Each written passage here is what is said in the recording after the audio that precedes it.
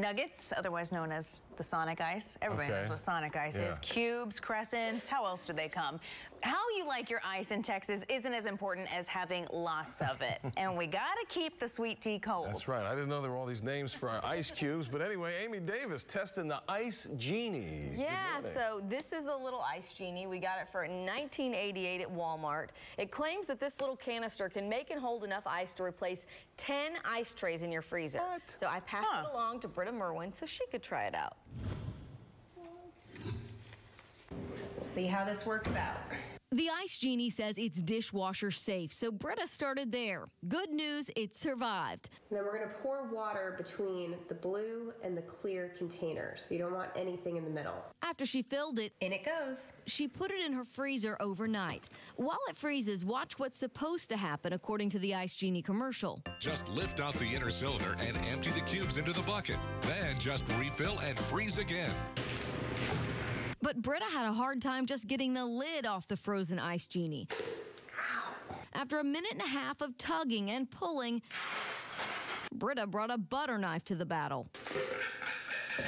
When it finally popped off, she still had more work to get the plastic insert out of the genie. Once it worked, she was able to squeeze small ice cubes out of the plastic. Now to do that three more times. They say you can dump it into a bowl to save them, but who wants to put a bowl in their freezer?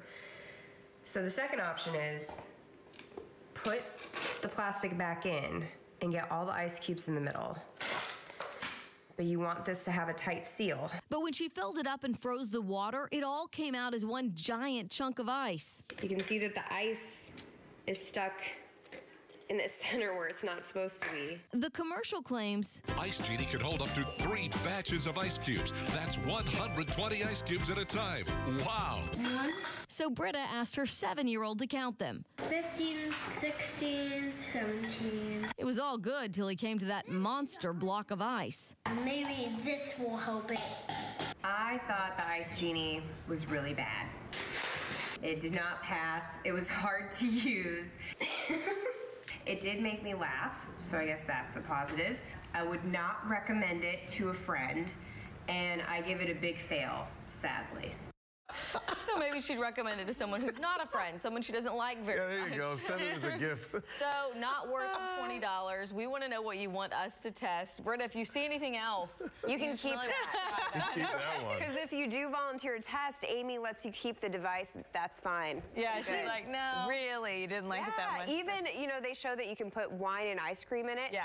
The ice cream container didn't fit. Oh, really? So she Yeah. tried a quart, which it seems like it would fit a quart. Yeah. They say it'll fit a pint, but then the pint kind of goes all Way the way down. down in. So, I mean, and then how long does it take you to eat a pint that you need to keep it cold?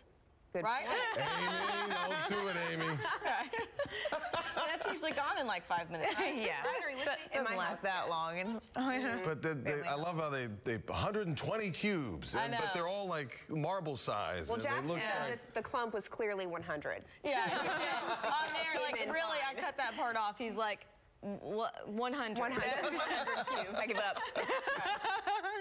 nice. Thanks, guys. Oh, Thanks, wow, Amy. that's Thanks, awesome. Britta. Mm-hmm.